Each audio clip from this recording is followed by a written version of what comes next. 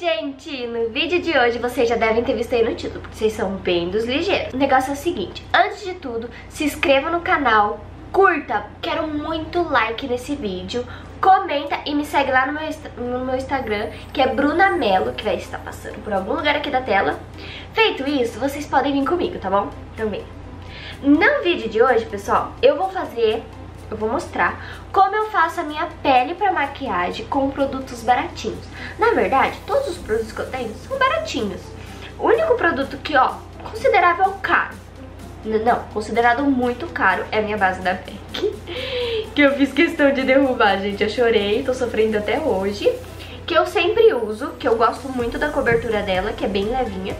E a minha base da Boticário.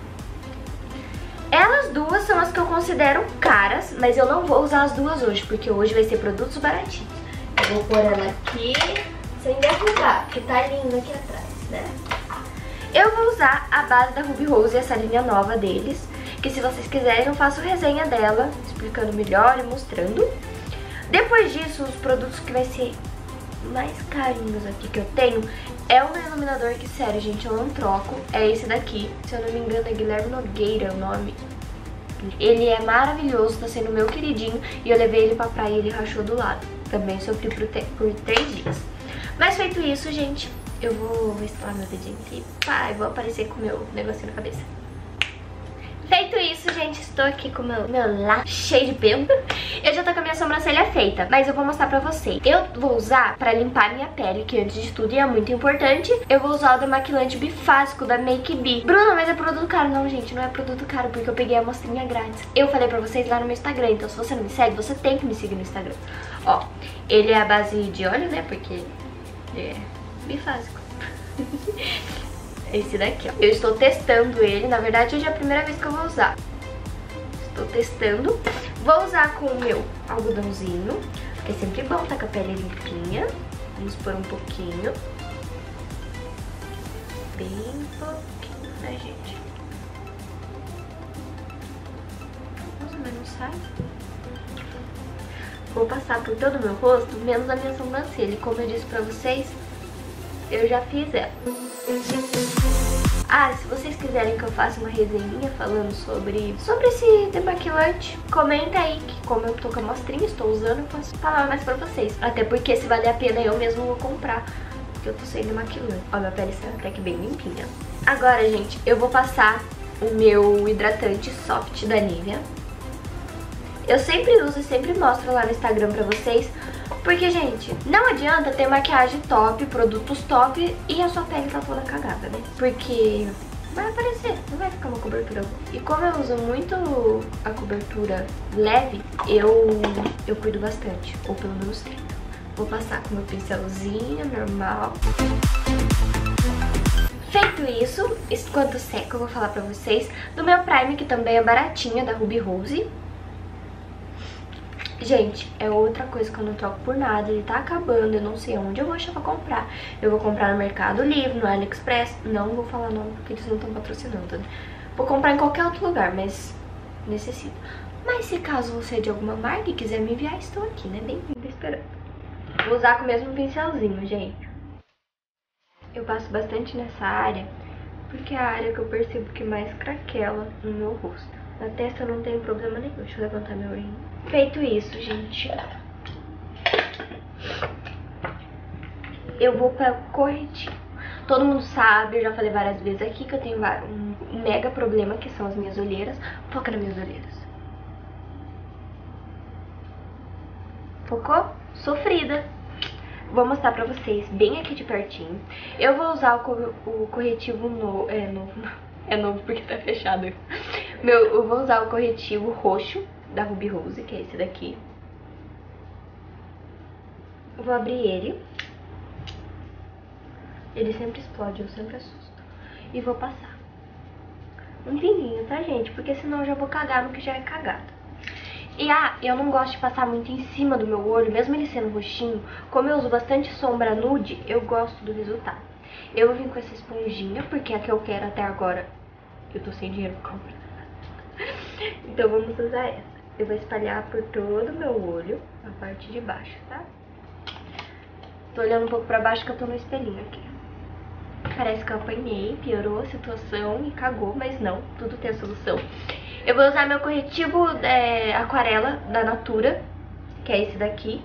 Que na verdade eu vou usar ele só pra fazer graça, porque ele tá bem no finzinho.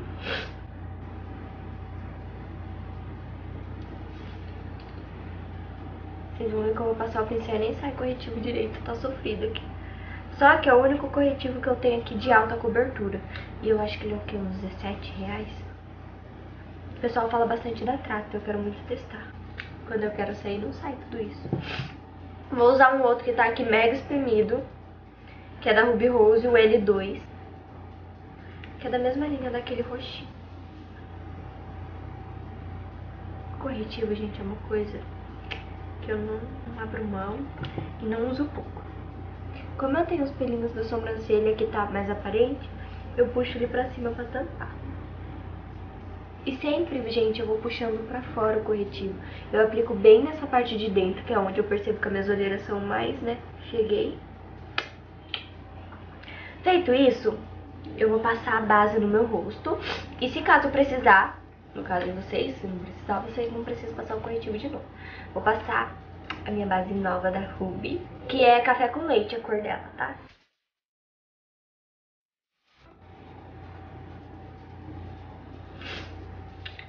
Vou espalhar com meu pincelzinho.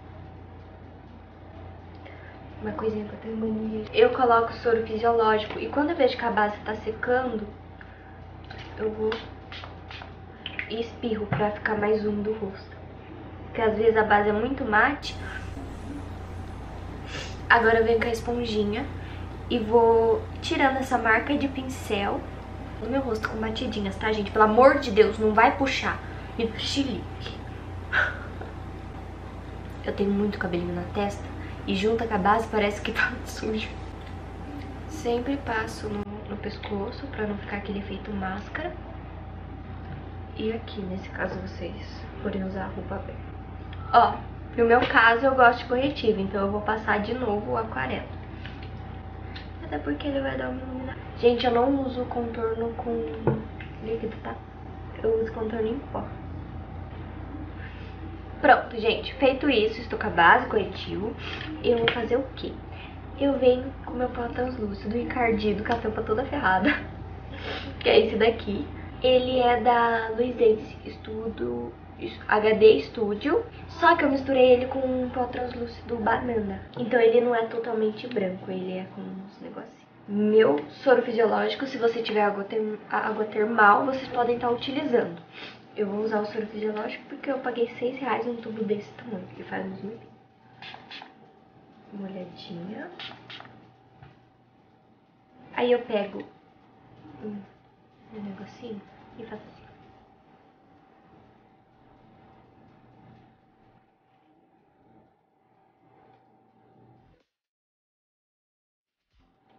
Como eu vou fazer o contorno, eu vou fazer toda nessa linha aqui de baixo.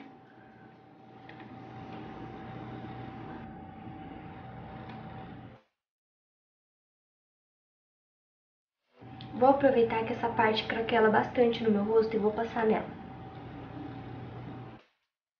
Se o seu bigodinho suar, você também pode passar. Mas levantou um pó. Feito isso, o pó voando pra todo lado. Eu tô bem cagada. Muitos vão aproveitar e tirar print pra me zoar depois, né? Mas eu vou vir com o contorno. Só que antes, deixa eu explicar. Eu passei o pó translúcido aqui, que a hora que eu for fazer o meu contorno, se caso acontecer do pó passar, ele não vai descer, porque o translúcido não deixa descer. Então, se eu fosse fazer o meu olho, essa seria a hora que eu iria fazer meu olho. Apesar de eu gostar de fazer antes da base. Eu iria fazer agora, porque se a sombra cair, depois eu limpo. O pó translúcido não deixa pigmentar. Vou usar essa cor aqui, gente. Tem gente que gosta mais forte, eu gosto mais clarinho. Eu faço assim, ó. Eu pego, batendo, bato sempre aqui em cima e venho... Tá vendo que a pontinha dele é assim? Eu faço isso aqui. Um, dois. E eu vou pondo conforme eu quero a cor.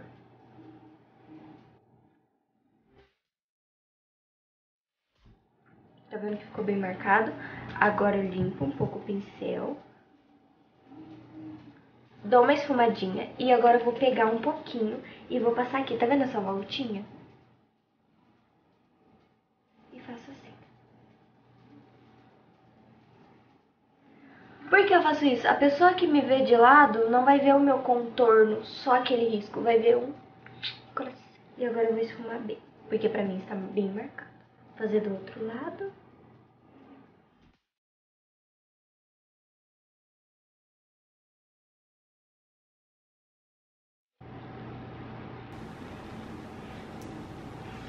Gente, feito isso, eu não gosto muito do meu papinho. Eu vou usar aquele tom mais claro e vou fazer assim, pra meu papinho aparecer, vou passar nele.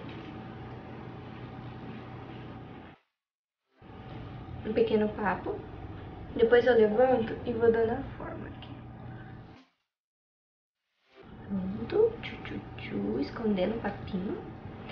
Agora eu vou passar um pouquinho na minha testa, só que eu vou dar uma apertadinha no meu pincel. Aí esse pincel aqui, ó, pincel kabuki angular, se alguém precisar. O meu é da Macrilã. Eu passo bem rente. Na verdade, eu gosto de passar isso assim, porque eu tenho aquela sensação que às vezes a base no cabelo fica aquele risco. Pra não correr isso, eu esfumo. Fiz isso. Agora eu vou vir com o blush. E não vou, não vou tirar nada. Eu tenho esse pincelzinho aqui todo enfeitado, gente, então eu não sei o nome. Ele é mais achatadinho, não sei se vocês conseguem ver.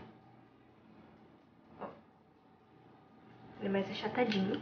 E eu vou usar o meu blush mosaico da Luizense. Que é esse daqui. Porém, eu só uso essa corzinha aqui, ó. Bato sempre na tampinha. Vou fazer um risco aqui em cima. E vou passar aqui um pouquinho acima do meu contorno.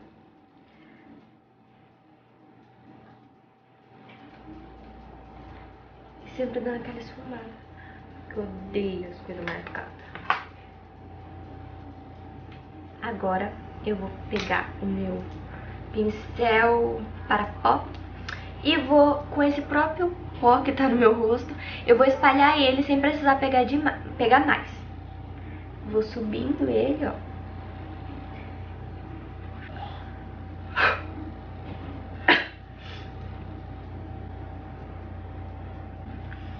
Sempre segurando pra cima do pincel, que vai deixar sua mão mais leve.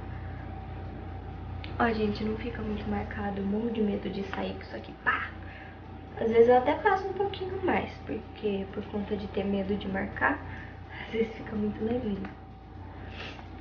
Aí agora, eu vou passar o iluminador. Eu vou espirrar o meu soro fisiológico nesse pincel, que ele também é da Macrilã, mas é de um joguinho e eu não sei o nome. Ele é assim.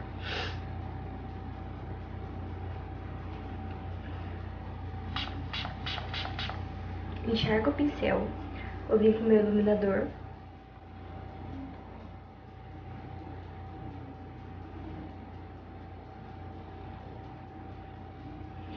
Esse iluminador, gente, eu paguei 60 reais nele. Eu considero mais carinho comparado aos outros que eu tenho. Tá vendo que ele é bem marcadão, mas depois eu resolvo. E eu passo no lugar onde eu passei o meu contorno também.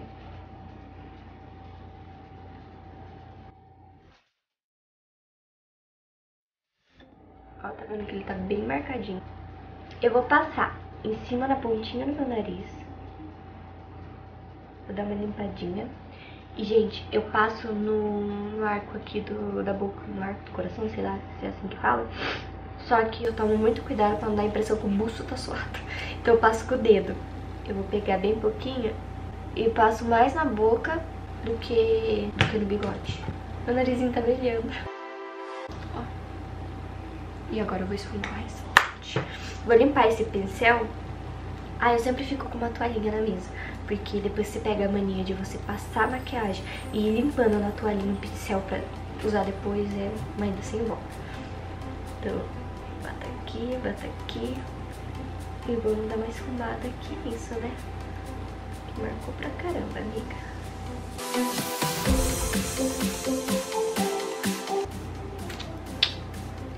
Pessoal, isso é o que eu faço na minha pele, acabou, não, não mexo mais nada, é assim que eu preparo a minha pele.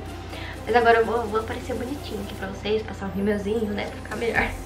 Calma aí, pum! Então, gente, o resultado foi esse. Eu colei uns cílios que deve estar tá todo mundo torto ainda, porque eu estou treinando, gente, colocar cílios. Não tenho muito costume, confesso que quando eu vou sair, saio com o meu natural. Então eu estou treinando Se um dia eu aprender a colocar bem, eu faço um vídeo mostrando pra vocês como coloco, porque o negocinho é difícil. Então é isso, gente. O resultado foi esse de como eu preparo minha pele. Não tem muito segredo. Espero muito que tenha ajudado vocês que né, tem um pouco de dificuldade, ou pelo menos agora vão saber seguir o passo a passo. É isso, gente. Se você vai tentar fazer, se você gostou, deixa o seu like, compartilha pros seus amigos. Aquela sua amiga que não sabe ainda se maquiar, você tá querendo dar uma dica, compartilha pra ela o vídeo, eu vou ficar mega feliz.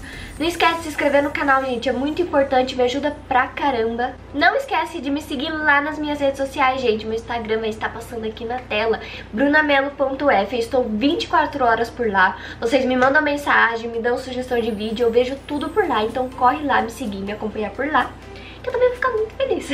Feito isso, um beijo e até o próximo vídeo.